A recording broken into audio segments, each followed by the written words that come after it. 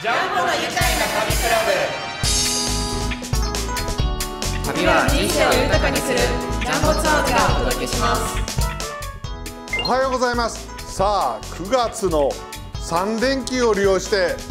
森の都仙台になんとこの JTA でチャーター機をご用意できると同時に各県の美味しいお昼からの名物料理またいろんな見どころをたっぷり組み込んじゃうと5コースになっちゃいました。まずは A コース東北4県。1泊目はつなぎ温泉で地元の出来たての旬の味覚のバイキング料理をご用意しました。2日目はゴンドラに乗ってもらって安比高原からの絶景を楽しんでいただき、えー、三陸鉄道に乗っていただき三陸リアシッ海岸の素晴らしさを見ていただくコース A コースご用意しました。B コースの方は2日目に最上川の船下りを楽しんでいただいた後薬来ガーデンの方にご案内します。こちらは13万本の植えられたベゴニアサルビア絨毯畑秋のこの絨毯畑なかなか見れないですよ。こういう見どころを入れまして、えー、最後3泊目は鳴子温泉で泊まっていただき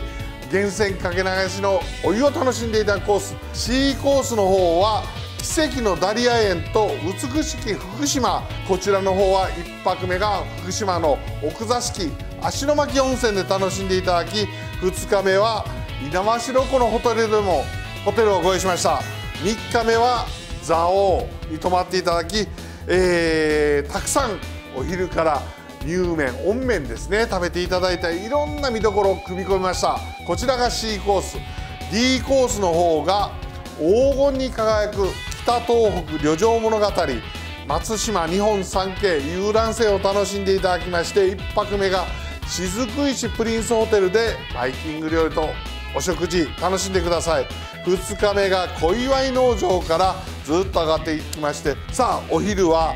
栗おこわ定食を食べていただいて青森県大鰐温泉の方で2泊目。3日目が八甲峠からきりたんぽ鍋を食べていただきさあアッピの方で戻ってきまして最後の E コースの方が奥東北の奥東北下北半島津軽半島たっぷり見ていただこうと思いまして1泊目が大鰐温泉2泊目がさあ津軽海峡津軽半島の一番上にありますタッピ岬。歌にいっぱい出てきますね。タッピからさあ翌日は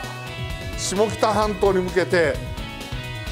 この陸奥湾をフェリーで楽しいチャンスがあればドルフィンイルカも見れますよ。さあ最後の3泊目がマカド温泉とまあ今回の5コースでは魅力たっぷりいろいろ面白く迷っちゃうかもしれないが9月のシルバーウィーク。きましょう。この番組はジャンボツアーズがお届けしました。さあ来週は第2弾。今度は9月14151617同じ JTA で。ニーハオ台湾行きましょう。また来週。来週見てね。台湾台湾台湾。